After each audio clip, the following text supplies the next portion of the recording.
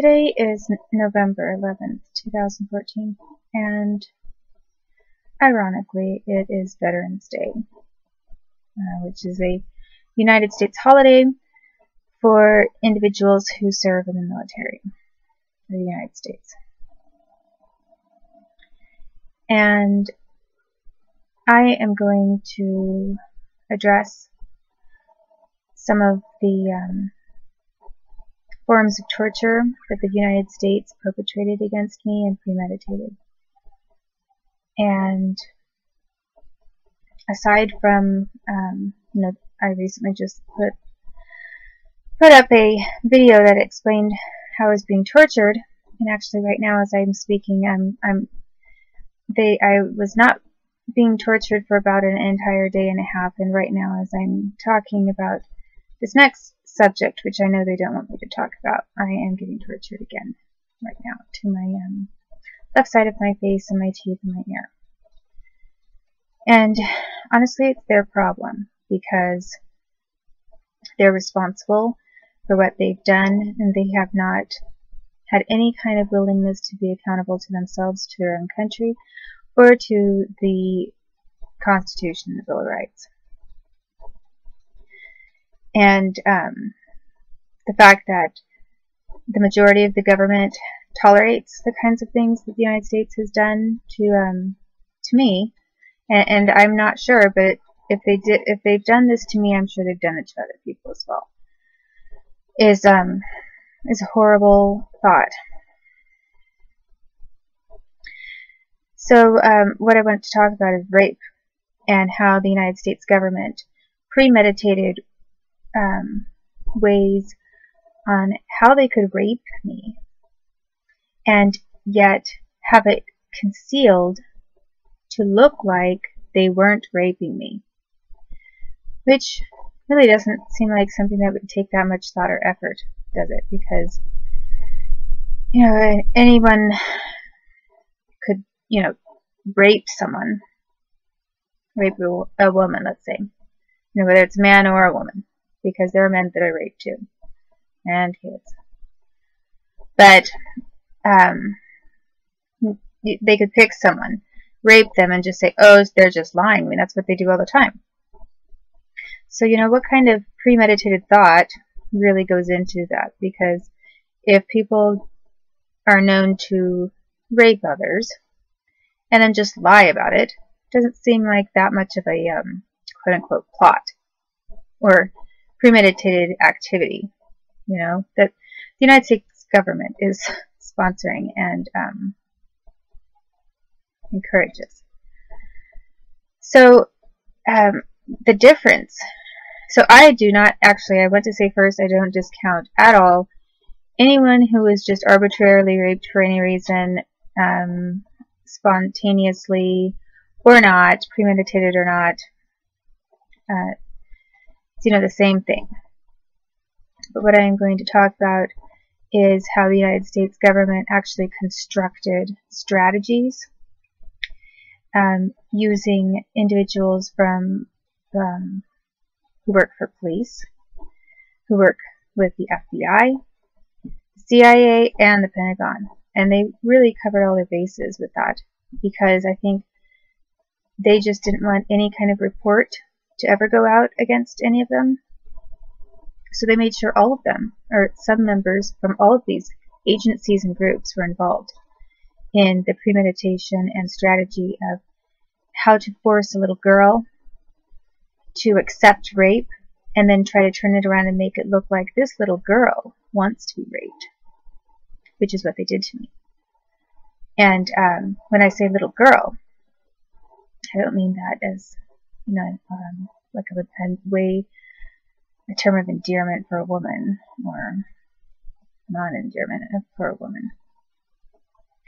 I mean, I was little. Um, one of the earliest strategies that they used against me, I was about age four. And uh, about age four to five that I remember. I, I know it goes back to age three. But actually, and I take that back because there is another set of circumstances that I distinctly remember, and I was still drinking from a bottle at that time. And um, and I was not, you know, drinking from a bottle for a really long time as a toddler. I was maybe I still had a bottle when I was age two or up to age two, something like that, but past that I was drinking from a sippy cup. So some of their, um, one of their strategies on how to rape me and then make it look like I wanted to be raped was um, devised when I was two years old. Probably devised earlier than that, but I was two years old when I distinctly remember some of the things that they did. And the reason I remember some of these things when I was that young um, is because they did it so many times. Because when they, um, when I call these rape strategies strategies, they were not, it wasn't like a, something that they tried out on me a couple of times. It wasn't like one or two people did the same thing a couple of times and it really looked like they were colluding together and they, you know, these one or two individuals had a plan against me, you know. Um, when when I say, and you know, pardon my halting speech when I'm talking about this because I didn't prepare this. I'm not, you know, rehearsing this as if um, giving you a, a caked and baked description or um, story of what the United States did just to defame someone or, you know, whatever. So I'm just speaking from the top of my head um, about this. And so there will be some clarifications as I go along. But one of the things that I want to clarify is when I say they did this several times, they didn't just do it a couple of times on these various strategies on how to rape me. Um, when I say many times, I mean um, anywhere from like distinctly remembering um, anywhere from 25 to 100 times of incidents per or more um, per strategy because they and when I say per strategy I mean they came up with like a little book of various ways that they were going to um, rape me and make it look like I wanted to be raped. So they had, um, it's really incredible the amount of time that they spent on this and um, the kind of damages that they did to me as um, a human being. But and I'm really not sure why they didn't just pick one strategy and go with it. But I guess they thought, well, you know, um, we want to rape her under any occasion, in any circumstance, so they came up with a variety of ways to rape me. And then possibly part of the reason that they did that was that when I was older and they wanted to repeat the same thing to me when I was older, maybe they thought it would sound more unbelievable, like, this one situation happened this way and it was supposedly rape. This other situation happened this other way and was supposedly rape. And how come you look like you're kind of agreeing to these different situations of rape that are different? And so it's possible that they wanted to make make um, give their rape strategies a little bit of variety, um, so that it sort of distanced one strategy from the other, and it didn't look like they were all all together. Um, I think that's pro probably why they did this. But, um, and when I say, you know, 25 to 100 times and someone would hear something like 100 times. Like that sounds like such an exaggeration. What do I mean by that? Do I mean I was raped 100 times on one form of the technique of um, that they wanted to use for raping me? Well, what I mean by that is that the methods and means for how they were approaching um, the brainwashing of me and repeated uh, what they call grooming.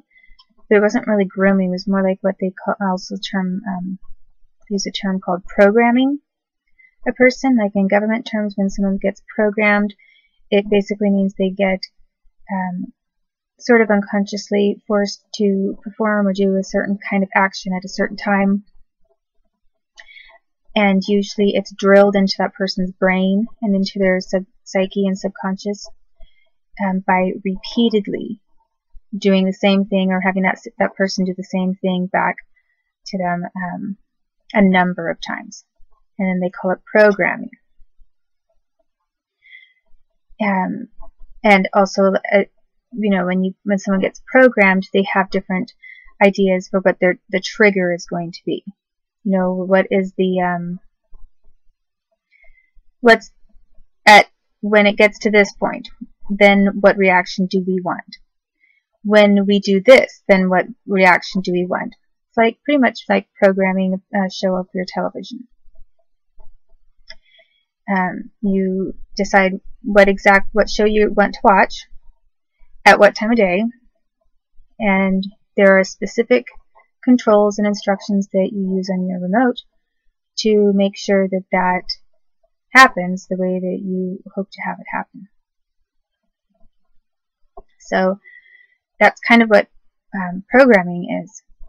But grooming is a term that's used a little more freely with regard to sex abuse. And someone, when someone tries to groom someone, it kind of means almost in a sense, it's been um, degraded to almost mean seduce someone. If you groom someone, it almost just kind of sounds like, well, they were groomed to accept the attentions of this priest, for example. And um, and that would imply that well, there was some consensual, some slight consensual um, behavior on the part of the person who's in any kind of relationship with the priest because they were quote unquote groomed to um, to be that way, or they're prepped or primed or whatever for a specific situation. And um, so when I say so, that kind of all goes together with what I'm talking about when I'm saying that um, the United States committed crimes against me um, for decades and practiced and worked on practicing their methods and strategy for so, um, such a um, so many repeated instances when I was younger. Um,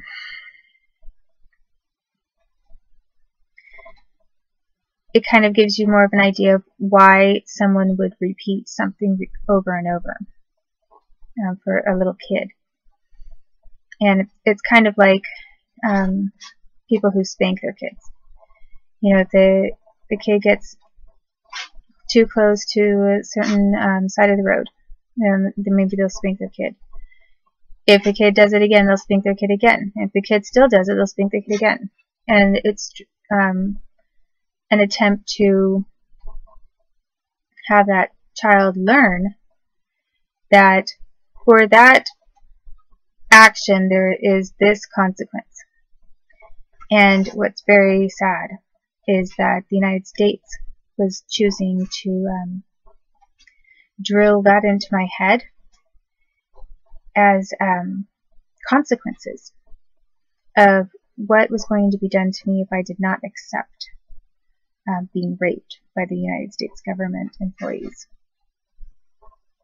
And um, they used a lot of employees. And they also trafficked me to other countries because I think they didn't, they knew that there was a concern that um, got outside of the United States into the United Nations or some other group um, they might have a problem.